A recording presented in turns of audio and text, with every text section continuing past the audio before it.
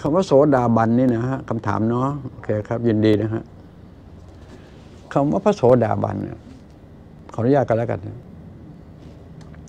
ถ้าเป็นภาษาเรียกขานเขาเรียกว่า อริยบุคคลนะครับ อริยบุคคลนะอริยบุคคลก็จะถ้าถ้าภาคความรู้นะจะรู้มากกว่าบุคคลทั่วไป ถ้าภาคความสามารถเขาจะมีความสามารถมากกว่าคนทั่วไป นะฮะถ้าถามลุงว่าอันนี้โสดาบันมีอะไรพิเศษครับ ความว่าพิเศษ เช่นนะเรื่องของการของการเยียวยารักษามนุษย์นะครับเขาจับของแข็ง ใบไม้เนี่ย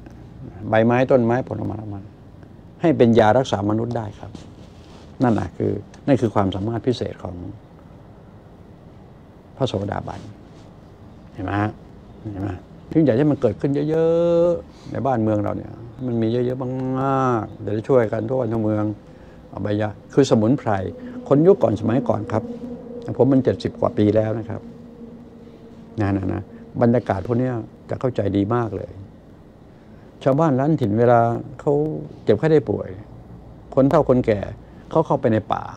ไปหารากไม้หาใบไม้หาอะไรต่างๆมากินกัน ต้มกินอะไรต่างๆกัน เขาก็หายจากโรคภัยไข้เจ็บ ยุคนั้นมันยังไม่มีเคมีนะฮะ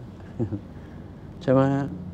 ถึงมีเคมีก็มีน้อย ยุคนี้โอ้เอเคมีหมดเลยนะครับแปลว่าเขาเรียกว่าปราชชาวบ้านเหมือนมนุษย์ยุคก่อนเขาจะมีคุณธรรมสูงมากนะครับ มีเมตตาธรรมมีคุณธรรมเขาเคี้ยวหมากเนี่ย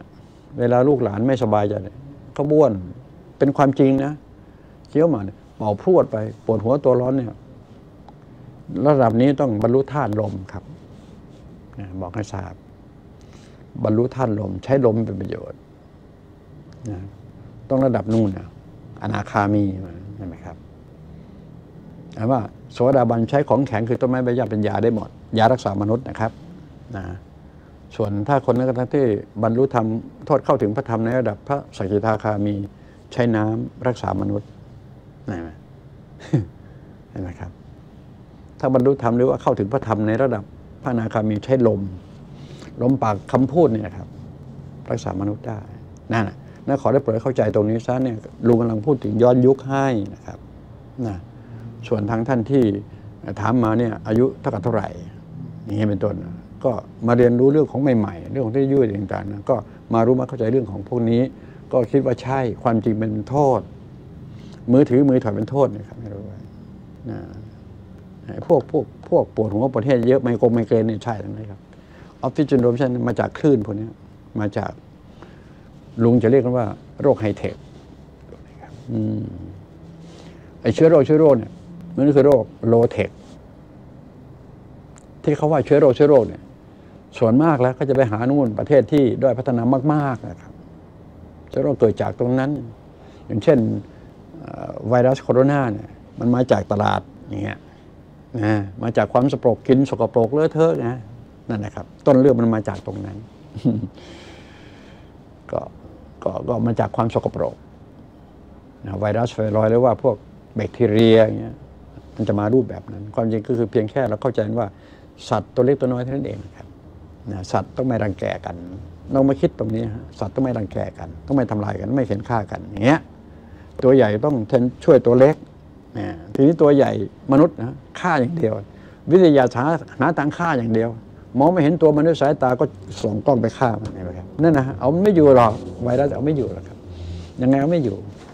นะมันจะต้องมันก็มีสิทธิ์ที่โดยชอบธรรมจะแพร่พันธุ์ใช่ไหมครับเห็นไหมครับ มีสิทธิ์ที่โดยชอบธรรมนะยิ่งเรารังแกมันยิ่งแพร่พันธุ์มากครับมาปรับความเข้าใจกันใหม่เลยครับอย่าไปรังแกเขานะสัตว์โลกจะตัวเล็กตัวใหญ่ก็อยู่ร่วมโลกเดียวกันใช่ไหม เออ มีมนุษย์คุยคุยกับสัตว์เล็กไม่ได้นะครับ มนุษย์ต้องในลักษณะเข้าถึงพระธรรมบรรลุธรรมนี่จะคุยกับตัวเล็กได้ ก็จะคุยด้วยด้วยด้วย ด้วยศักยภาพมันนึงเขาเรียกว่าจิตนะคุยกันทางจิตประมาณนั้นนะครับ โอเคไหมเนี่ยถ้าหากว่าจะได้อธิบายเพิ่มความนะครับ คุณอะไรภาษาต่างด้าวเนี่ยผมก็ไม่ถนัดนะฮะภาษาไม่วรรณยุกต์ไม่ถนัดบอกตามตรงนะครับ